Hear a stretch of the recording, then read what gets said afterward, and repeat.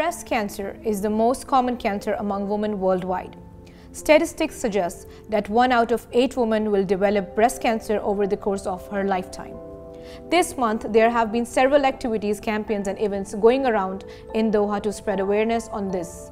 But I still believe definitely we need to do more towards this cause. Hence, luckily today on the set, I have with me Dr. Kulsoom Junejo, a consultant breast surgeon in Hamad Medical Corporation since 2011. So viewers, let's have a complete knowledge of breast cancer and hear it straight from the person herself, Dr. Kulsoom Junejo. Assalamu alaikum Dr. Kulsoom and welcome in Spotlight with Zunira. Walaikum assalam wa rahmatullah and thank you very much for inviting me here for this very important cause yes. to spread breast awareness amongst our ladies. Our pleasure. So, Dr. Kulsoom, cancer. First, let's speak about this disease. What is cancer actually? Right. So, if you say cancer, cancer, we say that it is an uncontrolled division of abnormal cells in the body. Okay, mm -hmm. this is kind of a definition of cancer if you say it. And uh, it can be anywhere breast, liver, lungs, skin, colon, anywhere. And uh, God has made us really foolproof in our body for growth, for uh, replacing the damaged cells. The cell division happens, the cells replicate to replace the damaged cells or for the growth of our body. Mm -hmm. So, there are certain checkpoints at the replication of these cells, at the division, or we call it a cell cycle. So, for some reason, if these checkpoints they get lazy or they are altered or disturbed, then the cells go into abnormal growth and uncontrolled growth and that causes cancer. And what are the reasons that they go under that Right. Phase. Now, there are different reasons for different cancers. As we know that smoking is implicated in lung cancer, mm -hmm. there are certain risk factors for breast cancer, there are certain factors for colon cancers. So every, every cancer has its own risk factors, but there are certain very general risk factors which I'll talk about as we go on. Mm -hmm. Yeah. Okay. And um, just a general knowledge, general information I would share with you. Uh, when we talk of cancer, the word cancer, where did it come from?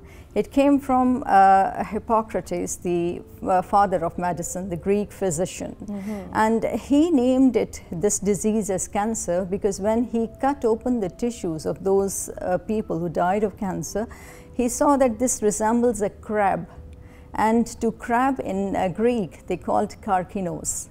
Okay. And from karkinos, it came as cancer or carcinoma. Mm -hmm. So that is how the word originated. originated. But okay. having said that, he was not the first person to discover it. Okay. We find uh, breast cancer uh, description in uh, very old Egyptian documents mm -hmm. dating back to more than 1500 years before Christ. Okay. So it's, it's quite an old disease, but now we have the diagnostic modalities, we diagnose it uh, um, early and we know about it more. So that's how it is. So earlier people were dying out of it and there was no cure Exactly. Previously mm -hmm. they, mm-hmm. they called it incurable disease mm -hmm. and they used to cauterize or burn the tissues to just limit the disease. And also, you know, there is something with the snake flame as well, right? Yeah, they, that is that, uh, that is used they, yeah. to be done at earlier uh, yeah, ages. Yeah, yeah, yeah. Mm -hmm. they used to burn it and they called it fire drill and all. Mm -hmm. So let's talk about breast cancer. Right. Uh, what are the symptoms basically, and how do you know that you do have it in you? Right. Okay. Now, uh, breast cancer, as we know, breast is consist of uh, milk producing glands and the tubes which carry the milk out to the nipple. So, it can, the commonest cancer of the breast arises from these milk tubes. Mm -hmm. Okay and uh, the other common type arises from the glands of the, the milk producing glands. So these are the two major types of breast cancer and what, uh, how, what are the symptoms, how can the ladies know about it? The most common symptom is ladies discovering a painless lump in their breast. A painless? Painless okay. lump in their breast. Pain, when they say that they have pain in the breast, I say that's music to my ears. okay. because uh, pain is, uh, they, they are painless in more than 97% of the cases. Mm -hmm. So, but having said that, if somebody is coming with pain, that doesn't mean that you ignore it. No, you have to assess it to rule out the other causes. Mm -hmm. And then there are various other symptoms as nipple changes, some bloody discharge from, from nipples or any other, even colorless discharge from one side, which is just coming by itself, not on expression, or any change in the size of the breast. Mm -hmm. I remember one of a very young lady, she come, came to my clinic. She was just, I think, um, in her late 20s and uh, she said she she feels that her breast one of the breast is kind of increasing in size and she has been to various doctors and mm, uh, didn't have any answer mm -hmm and that had been going on for about about a couple of months, more than six months. And when she came to the clinic, she it was a frozen breast. She had that cancer oh. sitting there for, for a while, unfortunately, and she was not diagnosed. But how come at a young age she's and she's not even a mother, I'm sure. Yeah, she, age is well, it does happen with increasing age, but that doesn't mean that the young age is they cannot have. Mm -hmm. No, young age can also have cancer, breast cancer. This is something I'm, I'm uh, yeah. getting to know first yeah. time. Yeah, yeah. So, so our youngsters, our girls. That's why when we do breast cancer awareness campaigns, I specifically tend to cater the high school girls because that is if you as in islam we say if you educate one woman you you are educating the whole family so there is we can start from that educating our young generation and they are the ones who who spread the message who become aware so they they can take care of their family exactly. so coming back to your question that yes what symptoms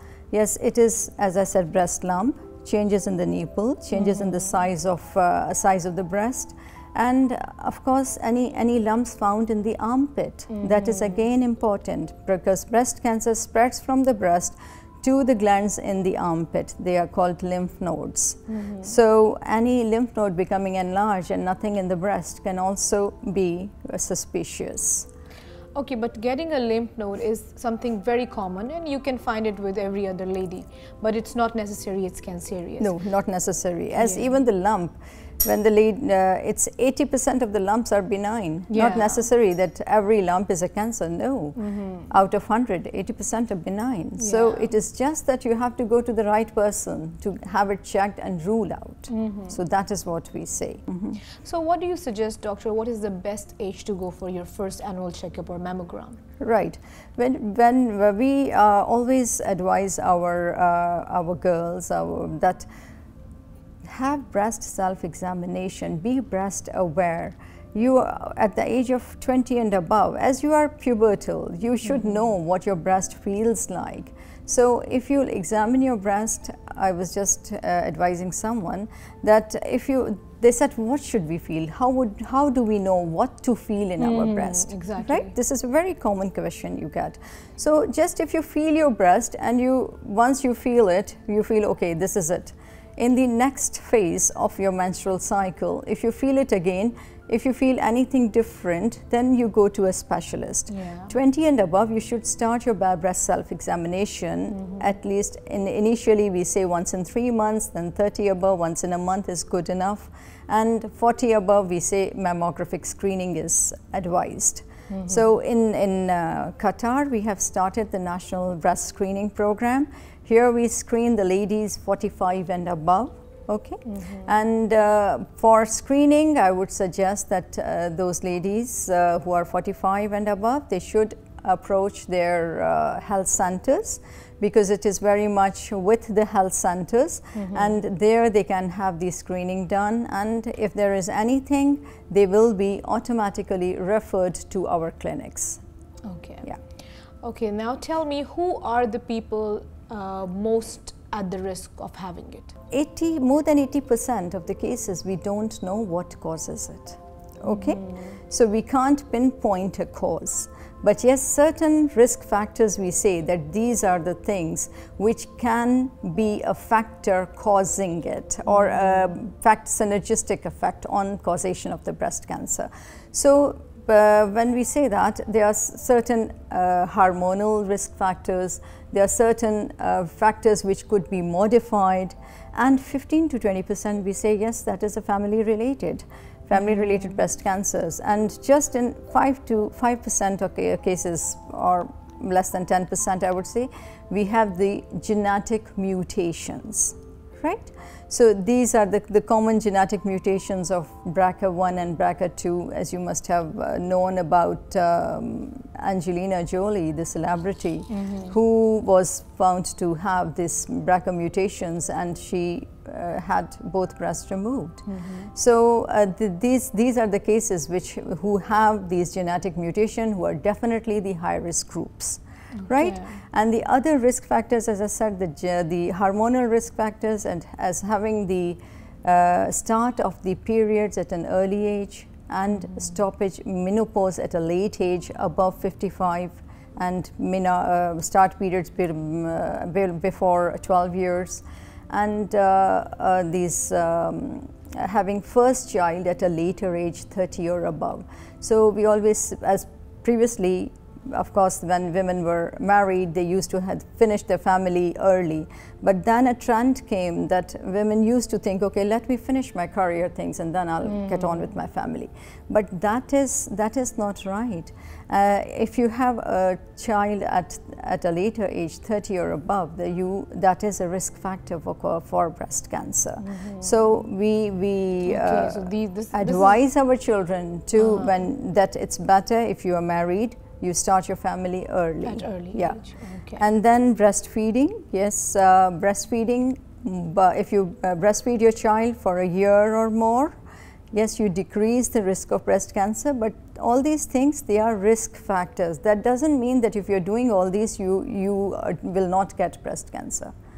Yeah, because yeah. women they are breastfeeding for two years and of more, and still they are affected. They are still affected. And uh, yes. uh, what about the ladies who are like after the feeding is done with the kid and they take medicines to dry their milk? So uh, I've heard that these are also one of the reasons, or no, nothing Not really. related to it. Nothing is. There's no scientific evidence mm. that proves that that can cause these milk stopping medication can mm -hmm. cause that. No. Nothing like that. That is okay. just a myth.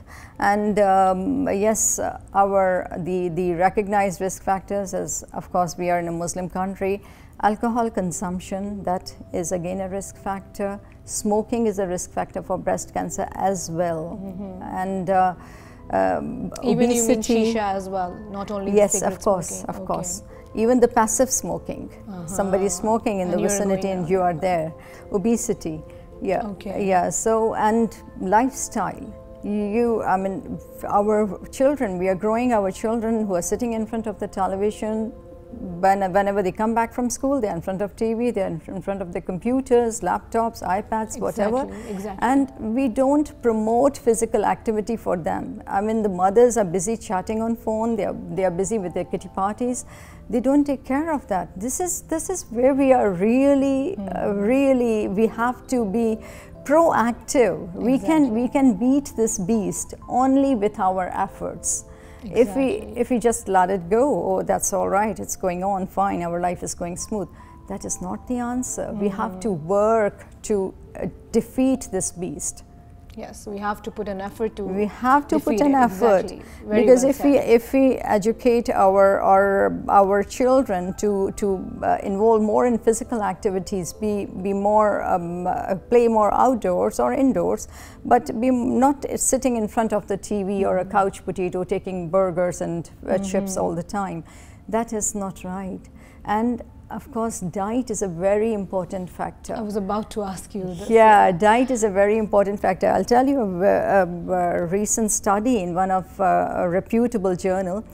They, they were um, doing a study to see that how does Mediterranean diet affects the ca um, cardiac diseases incidence. Mm -hmm. And it was just an incidental finding which they found that the uh, breast cancer incidence was low in those cases who were who uh, who were in the positive arm group that is they took mediterranean diet for that time period okay so what is mediterranean diet it is more of the plants and veggies and yeah. taking more uh, virgin uh, uh, olive oils and uh, fish and less of a red meat and things.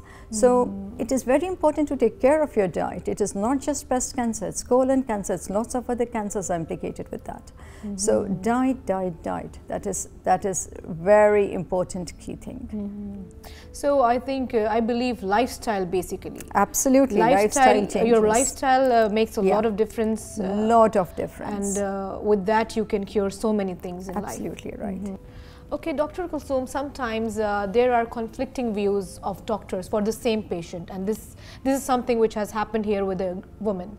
So uh, this lady was telling me that before she was di diagnosed that there is nothing and then later on after two years of her life, she, she was actually diagnosed with it. Okay. Just because of the confusions of the doctors. So in this case, it, particularly what one person should do? Right, okay. Uh, I would answer it uh, like this that uh, you have to choose the right person, right? If you're having a problem for breast, you should go to a breast surgeon. You should not be going to any any other specialist mm -hmm. because we in Hamad we we are the specialized breast team Nowhere in Qatar you have any specialized breast surgeons. We have a breast team who are specialized breast surgeons, trained in breast uh, surgeries and breast cancers in Hamad. So uh, ladies you, here in Qatar, they, if you have the, any problem, they keep on going to even private hospitals, whatever. We say that we provide you the best service in Hamad and uh, Her Highness, she uh, started um, a program that the suspected cancers should be seen within 48 hours by a specialist.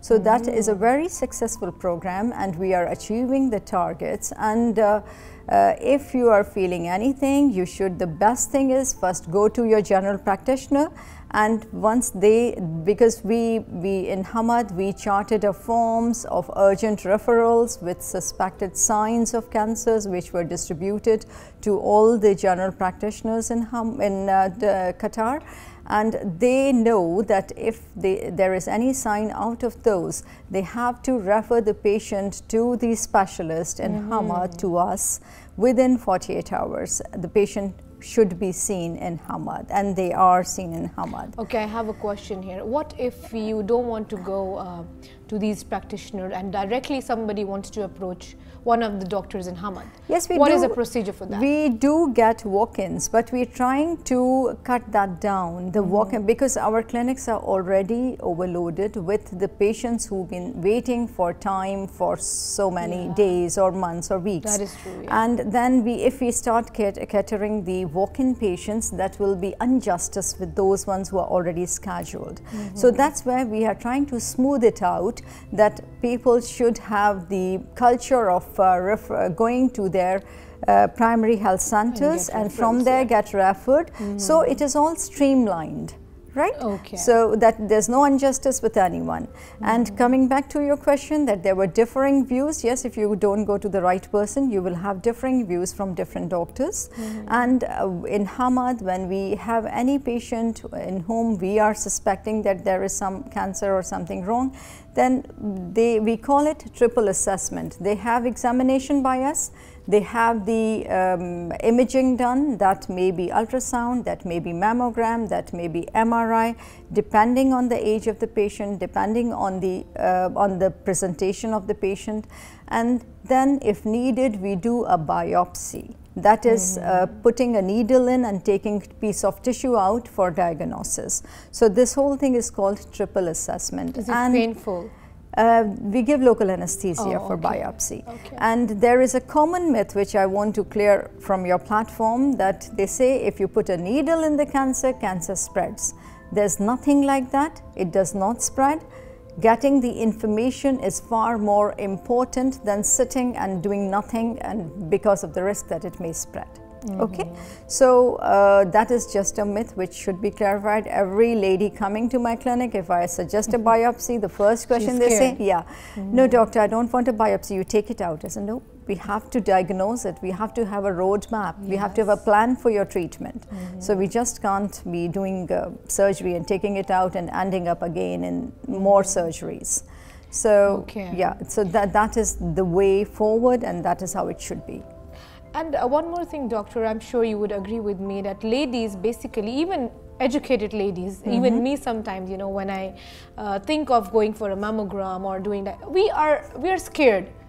We are f- fearing the fact that what if something comes out. Absolutely right. And uh, this is the feeling which make you lazy, not actually lazy, but this is something you know Scary scary feeling, yeah. feeling within you that you are not uh, you know forcing yourself to do it yeah. and we are just avoiding the situation. That's so. true. Uh, what what do you have to say for these ladies? And I know many many ladies are facing the same situation. I understand absolutely. I'll, I can only say this: if uh, if a cat comes to a pigeon and pigeon closes the eyes, that doesn't uh, that doesn't make the cat go away. So you have to be brave enough to face it. You have to you and as I repeatedly say again and again, you have to know your body. So please do breast self-examination again and again, once a month, once in two months, once in three months. And if you find any persistent change, go to the specialist. Okay. Yeah. Okay. Another thing, doctor, like not every lady is strong enough to battle this fight. Uh, I've seen some ladies who are not internally that much strong, and everybody have different issues with their bodies. So, uh, what uh, what do you suggest for such people? Like, when do you tell the patient right away that would you be uh, able to figure it, find this, uh, fight this out, or no? Uh, you How do you deal such uh, ladies? I mean, You mean those ones who, who are diagnosed with cancer and, And they, they don't? uh, okay. We have a very specialized team. We have surgeons. We have our uh, clinical nurse specialists who are uh, specialized nurses who deal those ladies, who counsel those ladies who have breast cancer about the various uh, treatment options. And uh, uh, once we see, we break the bad news, we tell them the treatment plans, then they have a detailed discussion with the, with the nurses because, uh, because of the shortage of the time. Uh, we can't be sitting with them for a long time. So we ask our CNS, we call them.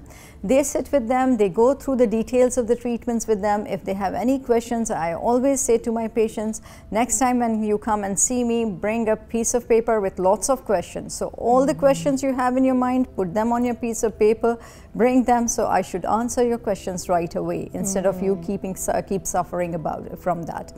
And those ladies, which despite of all these discussions, we don't just see them once, we see them repeatedly. And we make sure before they are gone for the treatment or they've started the treatment, all the doubts or uh, their mind is clear about what they are going to.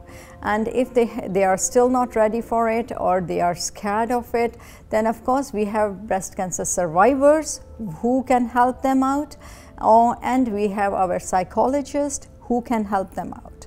So they, we have support for them, and we have there is a uh, complete course. consultancy and psychological Yes, absolutely, well. psychological aspect because it is it is a psychological trauma. Of course, if you see, is. it's a major psychological trauma for someone being diagnosed breast cancer out of blue. And they say, We were all right, what happened? Especially those with the screening mammograms, when they come to us that, Oh, we were okay, we just went for a screening mammogram and they, they found something and uh, it's cancer. So they are kind of that we don't feel anything. Wh- Why it is? Uh, why why is it cancer? So uh, mammogram can detect breast cancer two years ahead of any clinical presentation of a lump. Okay. Okay. So that's why we say, the, as we say, the breast cancer ins- uh, incidence increases with increasing age. That's why we say 40 and above should go for the screening mammogram. So if they have anything, it would be diagnosed earlier than it becomes clinically presentable. And uh, the other thing is, having said that, that yes, they do diagnose uh, cancers two years before they become clinically uh, pres- uh, mm, palpable. Not 100% cancers are diagnosed on mammograms. So mammogram also have their not 100% limit, limitations. 10 to 15% of the cases can be missed.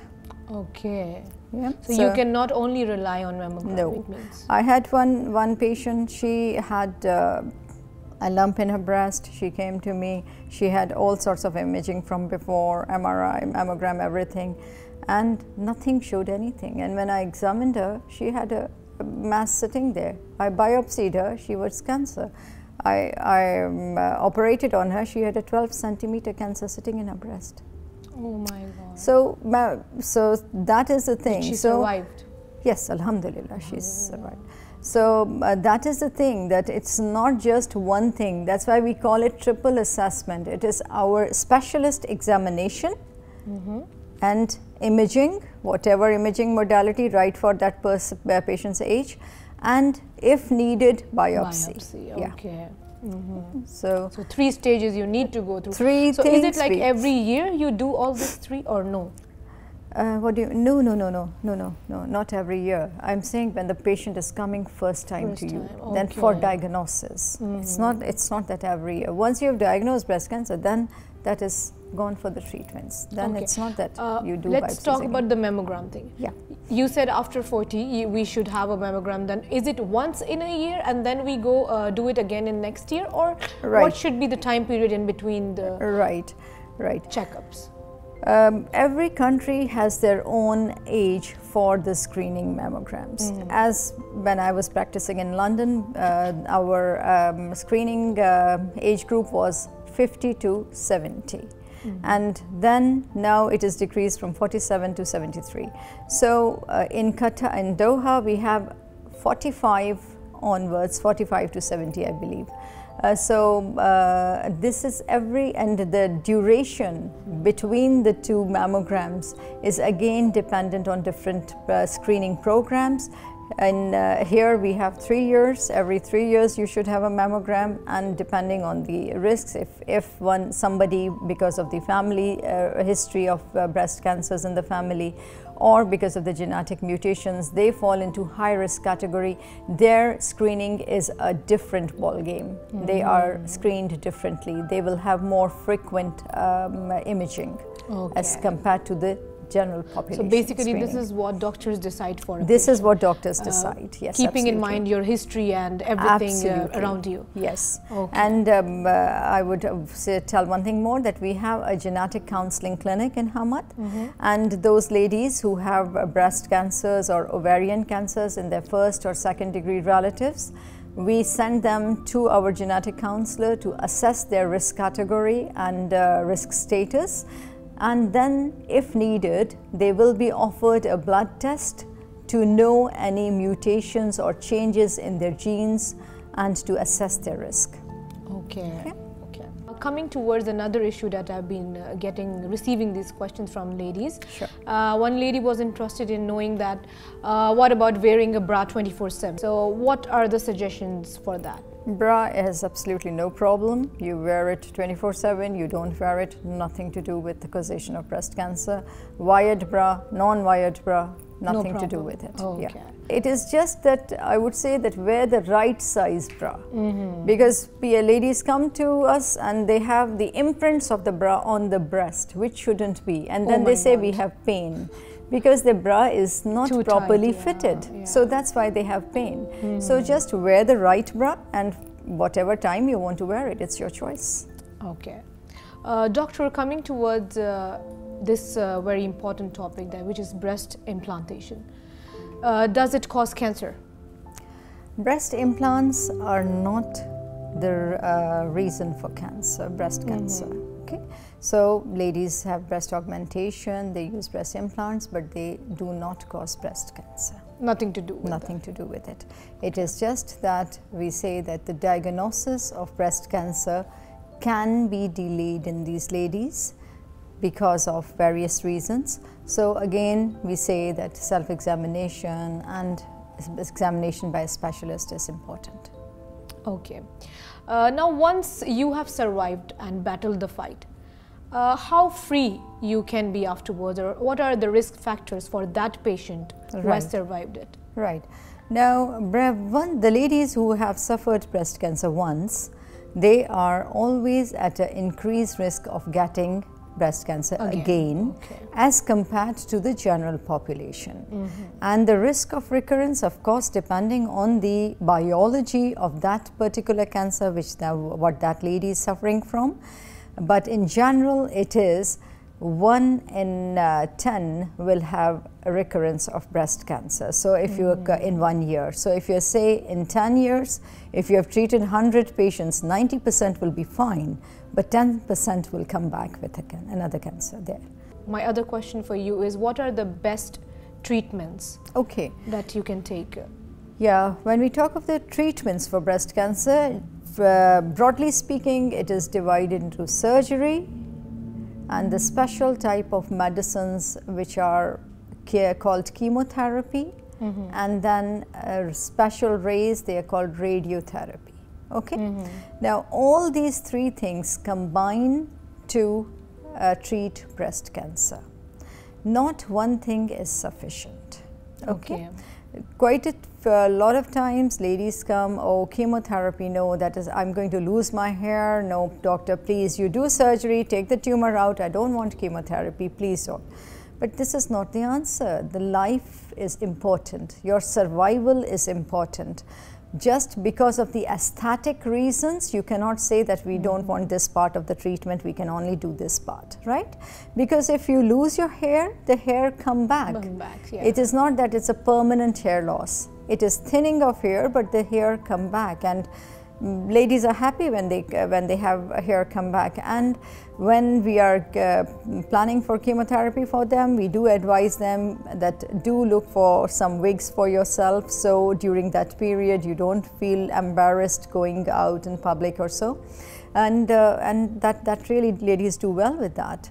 So, uh, and um, when I say chemotherapy, it is broadly, it could be said systemic therapy because one is chemotherapy, the other part is hormone therapy. Depending on the type of cancer, we give these treatments, and then the hormone therapy is the one which is prolonged, which could be given for five years, or seven years, or 10 years, depending on the type of cancer, on various factors of that patient. Okay. Now, what about uh, the side effects of tamoxifen? Yes, there are various side effects of tamoxifen. This will be a very specialized uh, question. Uh, I would say that it's better mm, uh, if I if I say too many side effects here, ladies will be unnecessarily scared. Yeah. So those only who need uh, tamoxifen, tamoxifen do more, all these things. We weigh the risks and benefits. So if the benefits are more, only then we suggest that particular treatment to the patients. Yes, tamoxifen does have side effects of having uh, of causing uterine cancers or causing these clots in the legs, but then again these risks are less than the benefits it gives you of preventing the cancer coming back. But again, it is only given in those ladies who, who have hormone positive tumors.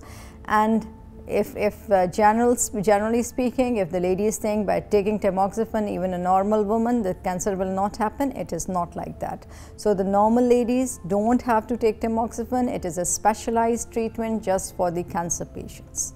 And only take under the uh, Under the medical supervision. supervision. Okay. Okay, now talking about Hamad Hospital, are there 3D mammography facilities available now? Uh, it is called digital mammography. Yes, it is very much available there, Okay. and uh, we have very specialized machines and um, and uh, good uh, team. So let's talk about the stages and uh, the risk factors for every stage. Right.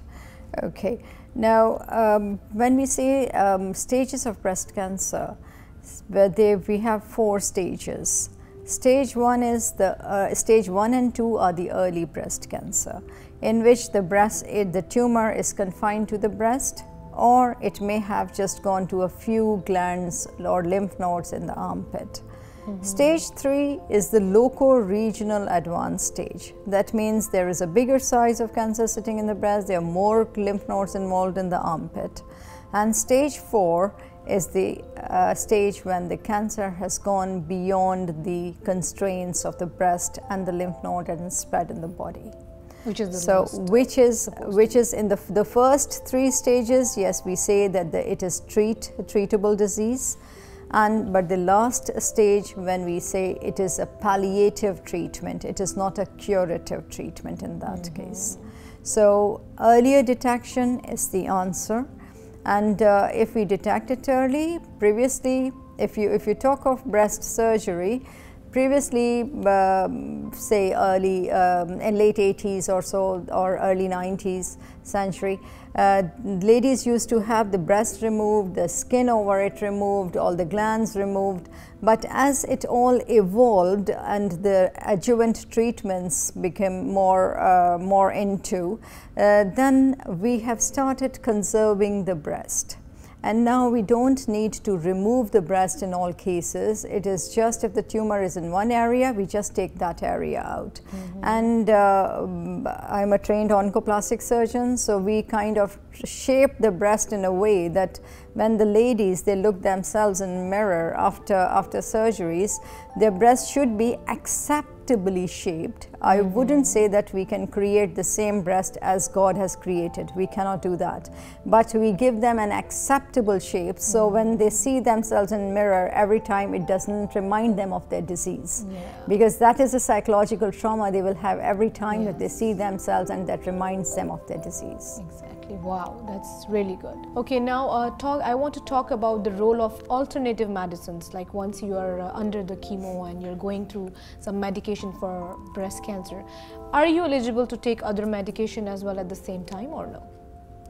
Uh, well, uh, I would say the um, we we don't have uh, yet as yet. The other medicines are really um, shown a success, I would say. They haven't shown a success as yet.